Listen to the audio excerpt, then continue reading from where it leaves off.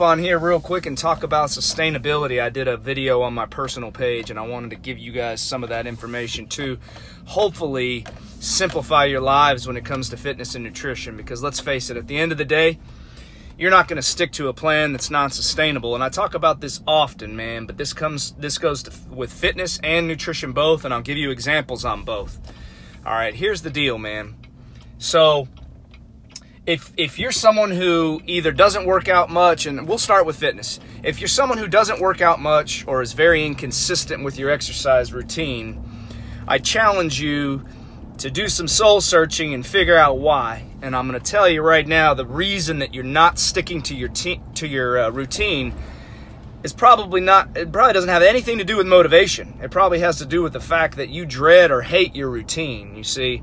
Sustainability is this. When it comes to fitness and i'll use this example all the time is if you're not a gym person and you're trying to force yourself to go to the gym that's not sustainable man you need to find something that works for your lifestyle that you don't dread or you don't hate you don't have to love it and i'm not going to sit here and tell you that i love to go to the gym i'm on the way there right now but that I love to go to the gym every single time I go because that's just not the truth.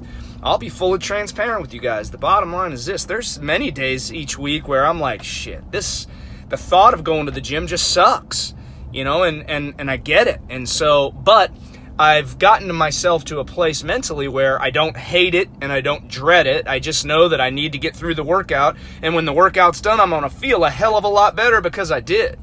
So, and so that's the, the the one piece on fitness that I'll add there, man. It's just so important to find something that's sustainable. Now, I'm not telling you that you you shouldn't step out of your comfort zone sometimes and and continue to challenge your body because obviously that's what's going to give you optimal results. But at the end of the day, if you're looking for general health and just really to lose weight, maintain weight, whatever your goal is, you know, not everybody needs to set out to be the next freaking Jay Cutler or, you know, Ronnie Coleman. Like, I get it. Not everybody wants to be a damn bodybuilder, and that's fine. But, you know, if you're if you're just looking for general health and you're just looking to feel better and have better energy levels, um, maintain your weight, get off medications, whatever the hell it may be for you, I'm telling you right now, you need to find something that's sustainable for your lifestyle. And I know that sounds easier said than done, but start doing some soul searching Figure out what you enjoy, what has worked for you in the past that you could potentially stick to. Maybe you've done something in the past that you really enjoyed and you haven't tried it for a while. Maybe that's bike riding. Maybe that's just walking. It doesn't matter. Uh, there, there are plenty of people that are uh, in my industry that are you know, just full of shit when it comes to things that you have to do. The bottom line is you don't have to do anything. If you're looking to improve your health or level up with your health, you just need to do something that's going to get you more active, get you feeling better, get you dropping a little bit of weight, get you building some momentum and some confidence. Those things are so key to long-term success. But you're not going to get those things within if you're trying to force yourself to do something every time. Find something that it's not that you don't dread or that you don't hate that's somewhat sustainable. You know, that's the bottom line. So, so I'll end my soapbox on the fitness piece there, but now I'm going to get into a little bit of nutrition, and this where this is where a lot of you guys might be able to benefit.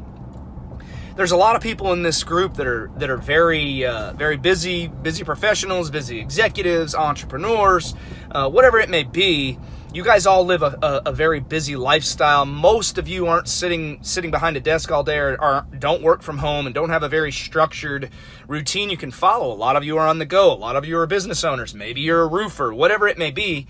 I say roofer because I have a lot of those people in my network, but um, those are a lot of my clients, and I work with a lot of people who are busy and on the go frequently. So here's what I challenge you to do and this is what I'm huge on, is find these go-to meals and go-to snacks that can become consistent in your life.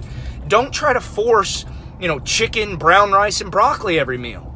You know, you can go online right now and print off a meal plan that's going to tell you to do that shit, and it's just not sustainable. That's not reality for many of you guys. That's just it. Like, if you're on the go a lot, you're not going to have brown rice, chicken, and broccoli. If you're on the go, could you potentially pack a cooler and make yourself a pretty healthy sandwich on whole grain bread and throw some vegetables or some fruit in there? Absolutely. That's a, a very good alternative. But you, you know, I, I, understand that it's not reality to have fucking salmon and quinoa and asparagus for lunch at 12 o'clock when you're on the road. I understand these things. So that's why I'm trying to simplify this process for you and, and, and give you guys uh, actionable steps that you can create these sustainable lifetime habits that will end up giving you long term success. And that's all I want for you. So, that's what I want you to think in terms of. So a couple of examples that I'm going to give for you guys is one that one that I'm a huge proponent of, and that's health. When it comes to healthy fats, that's that's something you need more of in your life. Most people don't eat enough healthy fats. So what I'll tell you is this: find something, you know, whether that could be pecans, walnuts, almonds, pistachios. What you want to do, and, and this is where you want to be careful though, is that a quarter of a cup of pistachios is 180 calories. Quarter of a cup of almonds, 170 calories. These things add up quickly in calories, but if you bag these things up before you start your day, and this is my quote unquote meal prep for you, I don't expect you to spend four hours or six hours on a Sunday prepping all this shit for the week. That's just no way to live. I get that it's not sustainable for most people. Most of you are busy, do not have time to commit four or six hours grilling and all that baking and all this nonsense on a weekend. My meal prep idea for you is just to have these go-to snacks, go-to meals ready to go, ready to grab when you when you need something or you're in a pinch and that can set you up for success. Last thing you want to be doing is skipping meals, skipping snacks. All that does is make you hungrier and hungrier and hungrier. Your body then goes, you know, you you get that hangry mode going and you're like, "Fuck, I need something to eat bad. Let me stop at this fast food." If you can eliminate those those pitfalls that many people experience because they don't plan ahead and when i say plan ahead this is just a little bit of planning each day.